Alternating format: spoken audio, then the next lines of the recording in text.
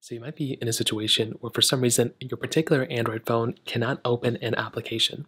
Now, this can happen for a few different reasons. The number one reason why this may end up happening for the most part is usually because that particular file you're trying to actually open is, isn't compatible with your Android device.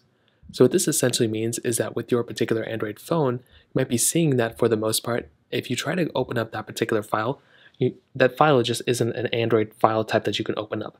Now, sometimes this happens if you basically have some sort of file that is something along the lines of like a like a ROM file if you try to download it, or some other random file that you try to download. So keep in mind, not every single file can be opened within your Android phone. So just keep that in mind. If you're downloading random files, if you're downloading random images, whatever, those things can, you know, most of the time be open. But if they're like, you know, game ROM downloads, or if they're like random, like like a Windows file download or like a Mac file, those things aren't going to work, especially if they're like iPhone files, nothing like that. Those types of files cannot be opened. Now, if normally those files should be able to be opened and they're not able to be opened, you may want to make sure that you downloaded the file properly. Sometimes if you're downloading a file and the internet cuts off or something like that happens, you may see that the file just randomly isn't really working anymore. So you may just want to go and make sure that isn't the issue.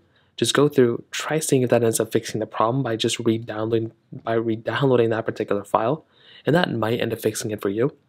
If that still doesn't work, you may want to try, you know, actually powering off your phone and turning it back on. So hold down the button that you normally would to power on and power off your phone. You can click restart and you can restart your phone. That might end up fixing it for you. If that's still not working, you can either try updating your phone or trying a different file browser.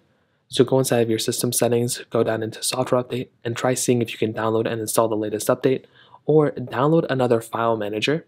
You can download another one and see if that ends up fixing it for you. So those are a few different ways to go and fix it. If you have any other thoughts or questions, let me know in the comment section below. Hit the like button, that will mean so much, but definitely hit that subscribe button. More importantly than everything else, I love every single one of you guys. Hopefully I'll catch you guys in the next video.